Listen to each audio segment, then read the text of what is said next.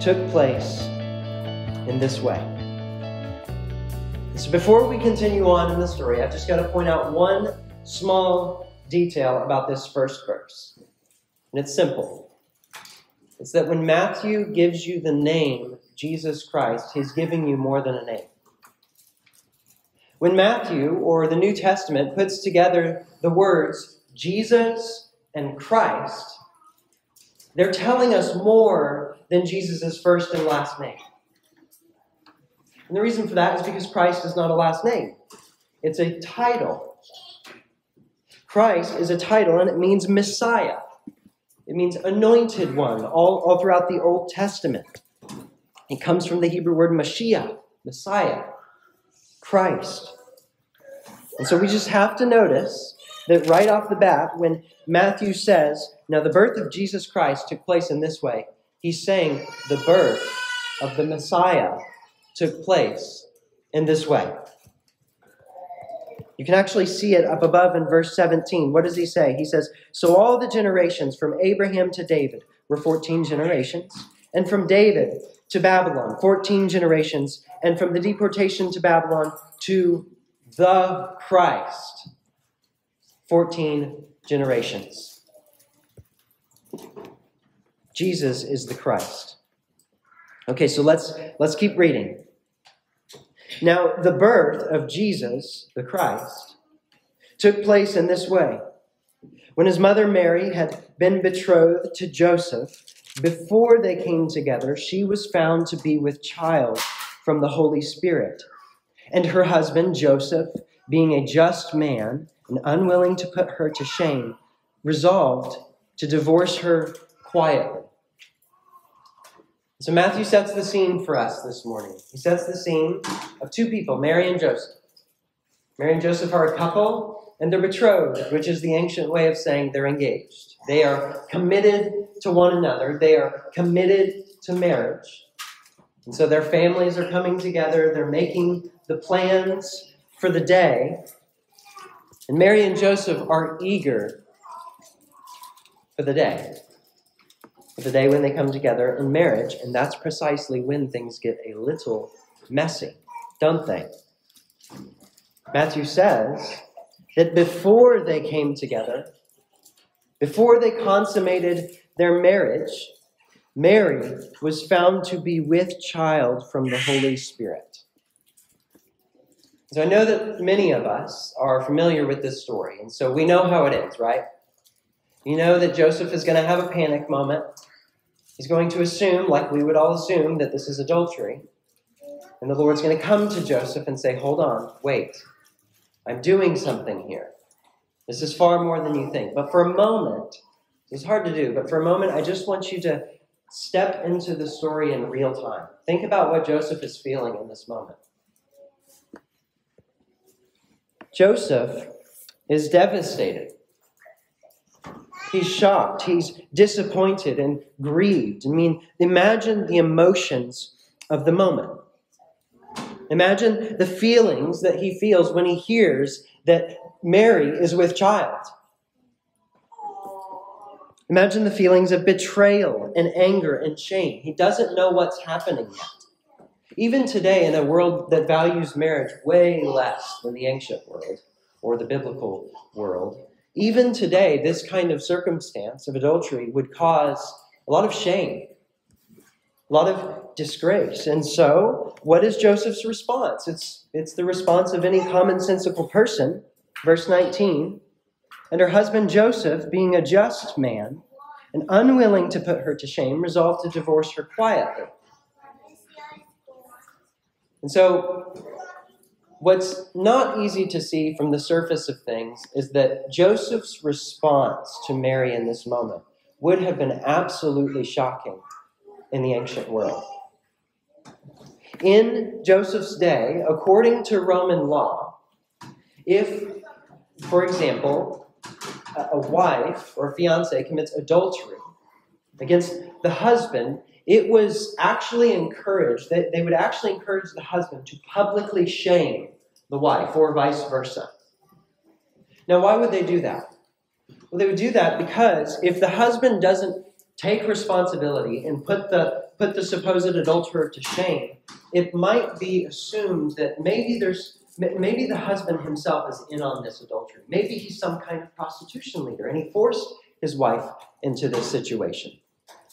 Unfortunately, that was a common practice in the ancient world. And so Roman law said you need to divorce her and you need to do it publicly.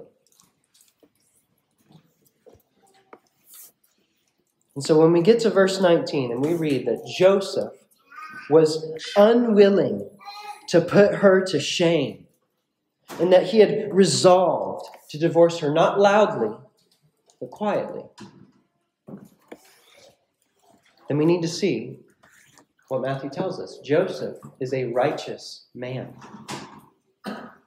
Joseph is extending mercy even in the midst of a situation where it seems like he's been sinned against. Joseph is a just man. That's what Matthew says. That word just, it's the same Greek word for righteous. Joseph is a righteous man. And so, why does Matthew want us to see that? Why does he point out that little detail? Well, he does so because, as we're going to see throughout Matthew's gospel, Matthew sets up this theme for us. It's a very important theme. And the theme is centered on a question Who is truly righteous? Who is truly a just person? Is it a person like the Pharisee who, yes, boasts outwardly that they are righteous, but inwardly they are unrighteous? Or is it the person who might not appear like much on the outside, but who inwardly is righteous, who trusts God? Jesus will say, unless your righteousness exceeds that of the scribes and the Pharisees, you won't enter the kingdom of heaven. And so, why is that important? It's important because Matthew, right here, is showing us Joseph is a righteous man. Joseph is a man like Jesus himself who extends mercy instead of judgment. That's what Jesus says. He tells the scribes and Pharisees, Go and learn what this means. I desire mercy not sacrifice. Being a just man and unwilling to put Mary to shame, he resolved to divorce Mary quietly. In other words, he resolved to take the path of mercy. But as you know, the story doesn't end there. Look with me at verse 20. But as he considered these things, that is Joseph, Behold, an angel of the Lord appeared to him in a dream, saying, Joseph, son of David, do not fear to take Mary as your wife, for that which is conceived in her is from the Holy Spirit. In fact, she will bear a son, and you shall call his name Jesus, for he will save his people from their sins. And so, question for you this morning what in the world does it mean that Jesus arrives in the womb of Mary from the Holy Spirit. What does this mean? This is a question that's perplexed not just believers, but unbelievers for thousands of years. In fact, some people won't believe Christianity because they think this is impossible. How is it possible for God to become a man in the womb of Mary? And at the same time, you know this as a church because we confess the Nicene Creed every month. At the same time, the church has just boldly confessed we believe in one Lord Jesus Christ who came down from heaven and was incarnate by the Holy Spirit and the Virgin Mary. And so the question is how is that possible? And if you're looking for a literal detailed answer to that question, I just want to warn you this morning, you're going to be looking for a very, very, very long time. Matthew does not give us an explanation for how this happened. But he just says, it's, it's a very general statement. He just says, the birth of Jesus Christ came about in this way. It's one of the reasons why you can trust the gospel specifically Matthew's gospel. In myths of the ancient day, there was all this elaborate prose and this preamble about the gods and, and, and humans coming together. And in Matthew's gospel, it's just real life. The birth of Jesus Christ came about in this way. That's it. And so, what's that tell us? What's that tell us about this moment? It tells us that Matthew 1, the incarnation, is not a, it's not a problem to be solved, but a mystery to be received. It is not a scientific problem to be solved and to figure out. It is a mystery to be received this morning. That's what we're doing when we confess the Nicene Creed. We're not explaining the incarnation, we are glorying in it. We are holding it with the empty hands of faith. And so, just as a side note for evangelism, for when you're sharing the gospel with people, if anyone ever critiques you and critiques Christianity and says, You Christians just can't handle any mystery, can you? You're always trying to explain things. Your response can be something like this No, friend, we love mystery. We embrace the mystery. The reason why we use precise theological language to talk about the incarnation is because we want to hold the mystery tightly. Joseph does just that in this story. He holds the mystery with the hands of faith. Verse 24. Jump ahead with me a little bit. When Joseph awoke from sleep, he did as the angel of the Lord commanded him. He took his wife, but knew her not until she had given birth to a son, and he called his name Jesus. Joseph embraces the mystery. He embraces the proclamation that this child is from God. It's from the Holy Spirit. And he obeys, doesn't he? The angel says, You shall call his name Jesus. And that's exactly what Joseph and Mary did. And he called his name Jesus. So, what is happening here? What's happening here? The angel is not giving Joseph an explanation for how the incarnation is possible, how God can become a man. He is telling Joseph why God is becoming a man. And why is that? to save you from your sins.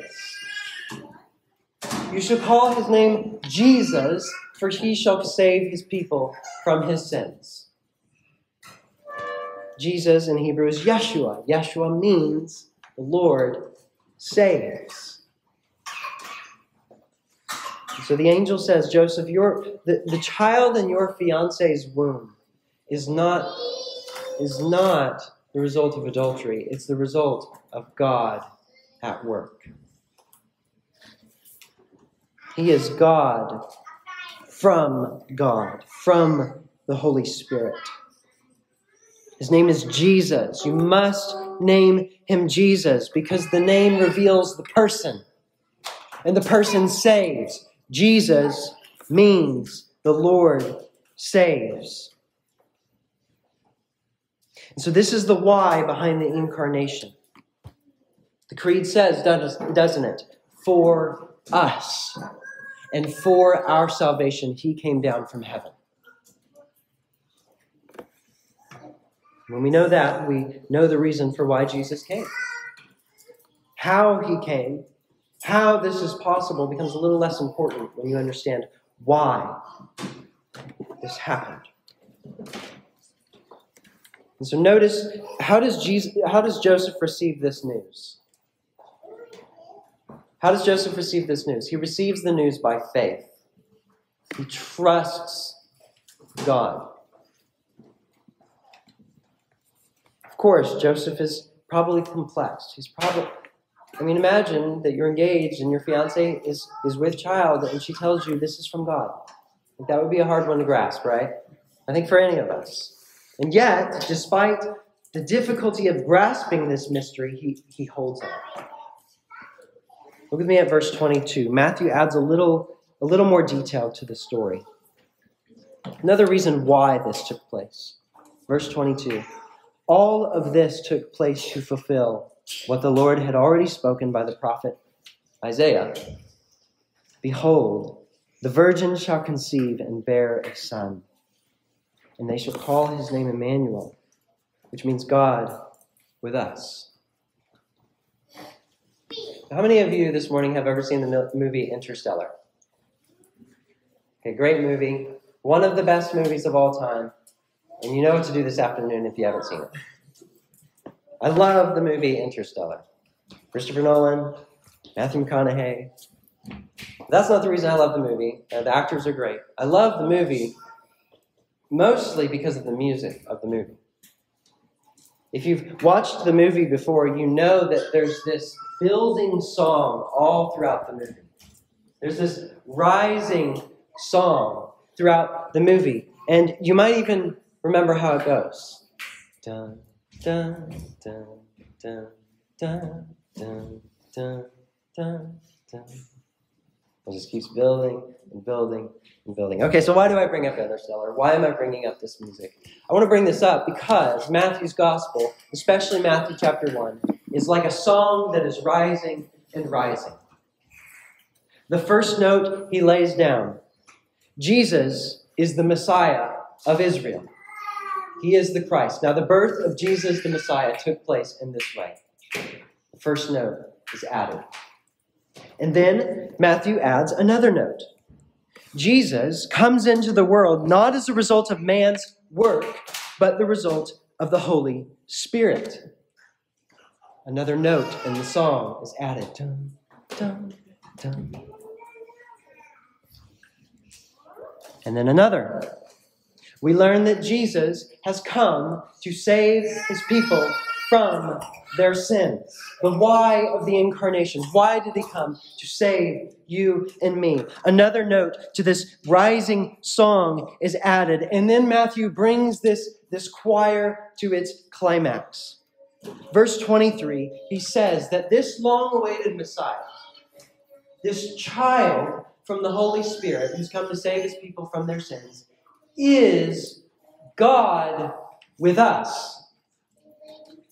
Emmanuel, God with us. This is the heart of the Christmas story. This is the heart of the incarnation. The most amazing thing about this story God, in the form of a tiny baby, being knit together in his mother's womb, waiting to take his first breath on earth.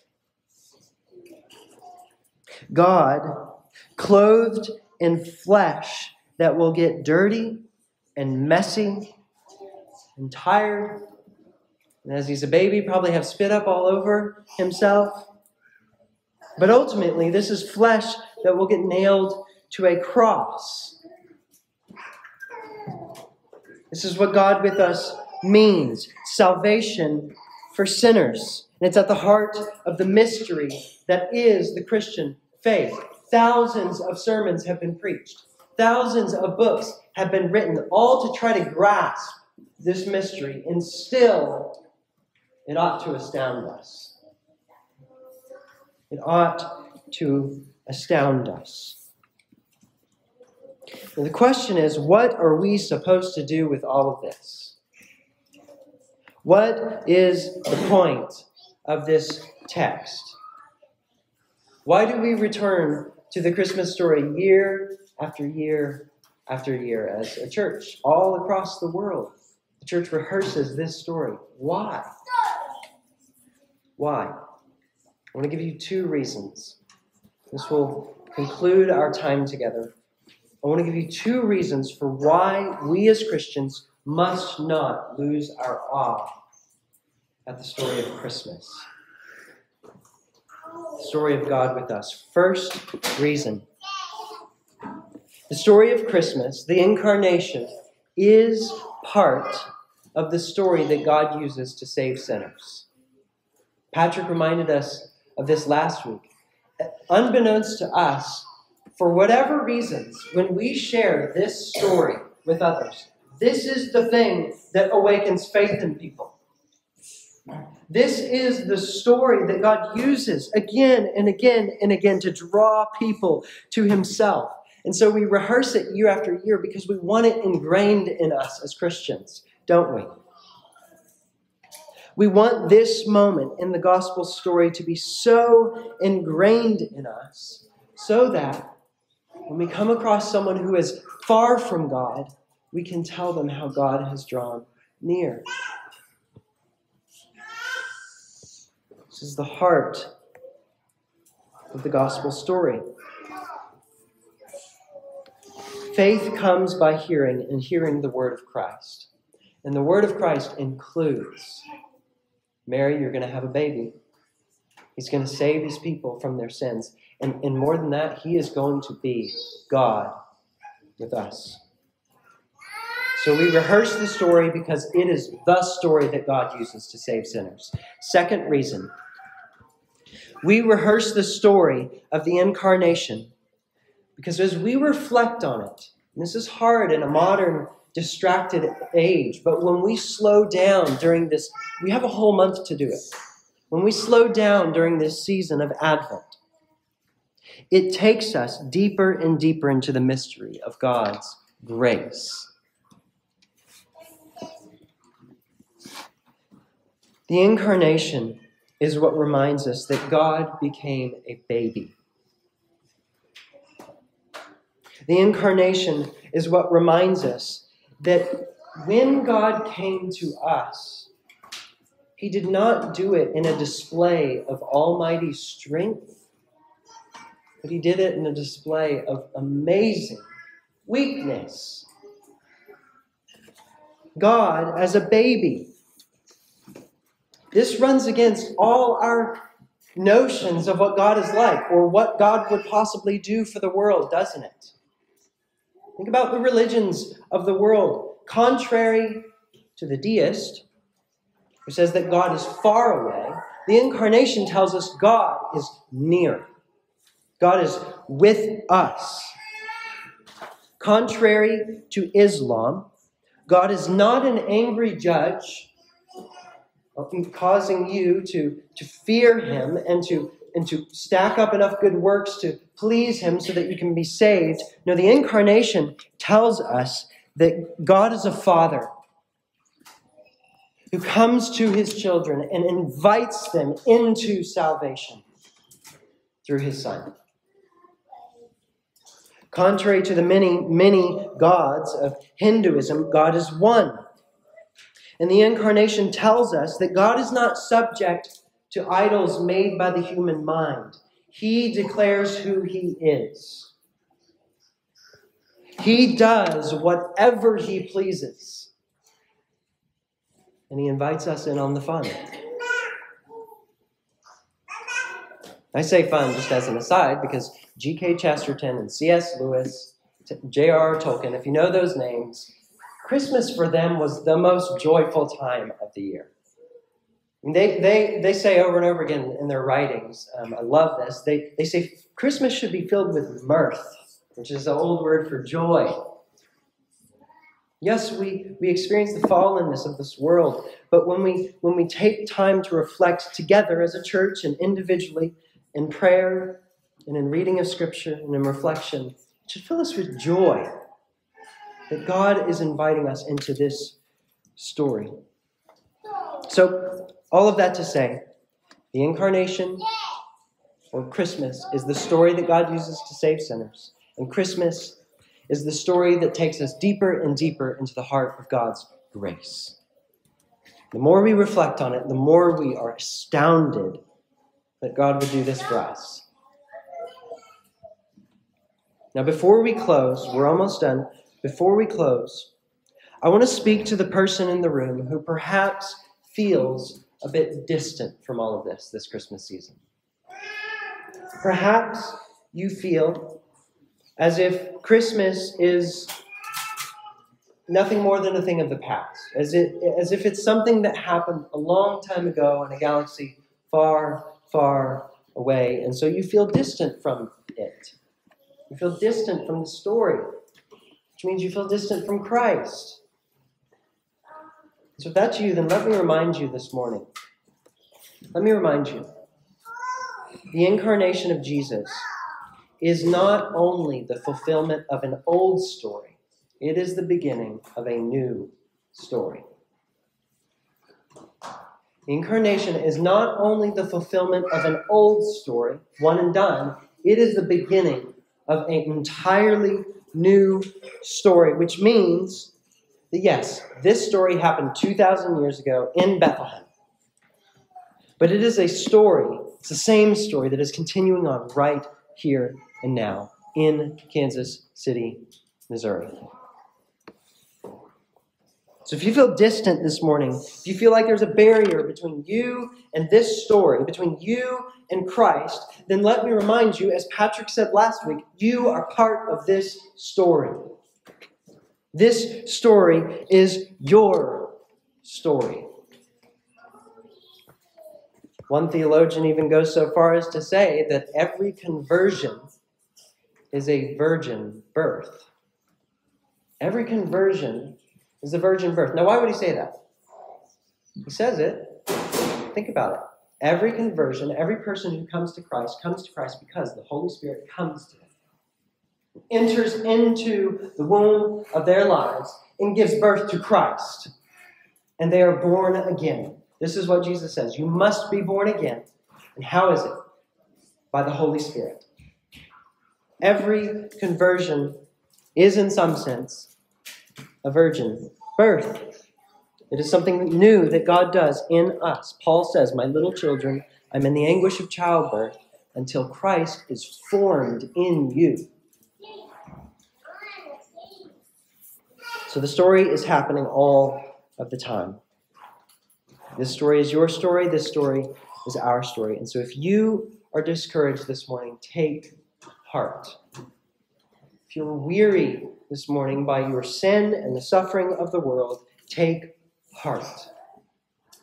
If Christ feels dif- distant from you, take heart. Christ is Emmanuel, God with us. And I think to show us why that is so important, Matthew ends his gospel by essentially saying the same thing. What does Jesus say in the last sentence of Matthew's gospel? It opens, Emmanuel, God is with us. And how does it end? Jesus says, Go therefore and make disciples of all nations, baptizing them in the name of the Father and of the Son and of the Holy Spirit, teaching them to observe all that I command you. And behold, I am with you even to the end of the age. It's their story and it's our story, friends. Emmanuel, God is with us. Let's pray.